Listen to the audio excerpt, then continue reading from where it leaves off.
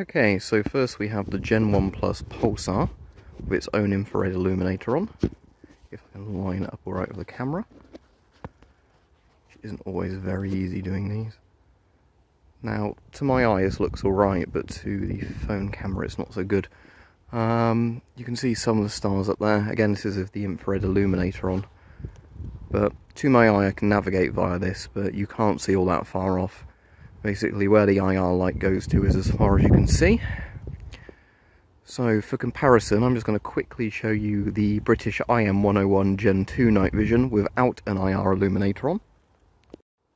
Right, here's the IM101, and I can get it in frame, um, which is always easier said than done when you've got a big night vision unit with a strap on it. Um, but yeah, to my eye, this is very clear, and bear in mind this has no IR illuminator on it.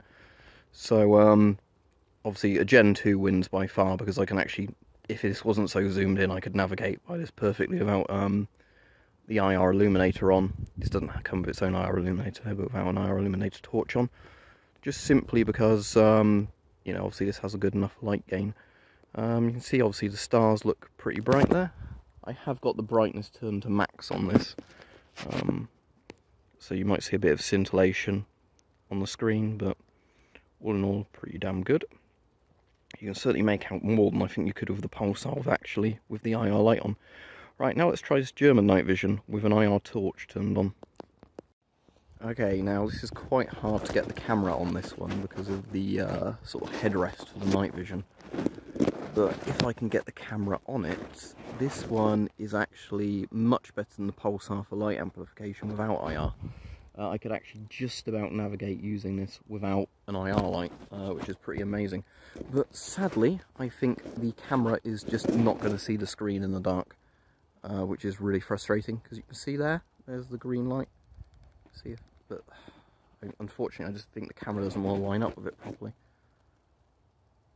Or it's, you know, just automatically getting the brightness down. Oh, there we go.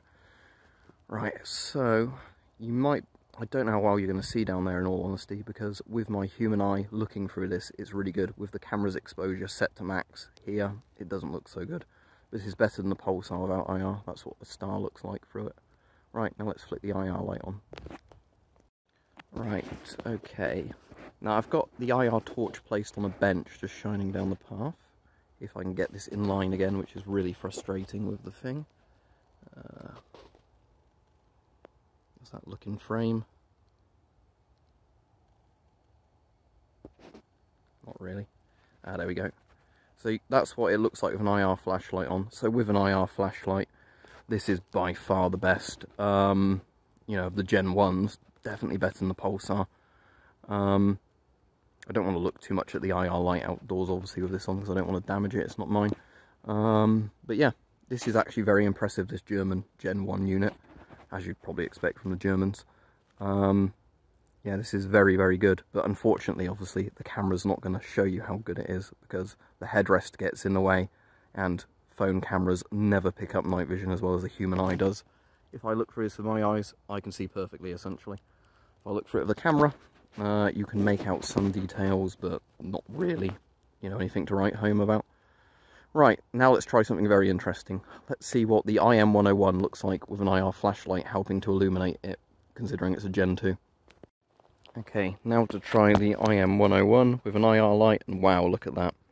Uh, you can see pretty much perfectly. Um,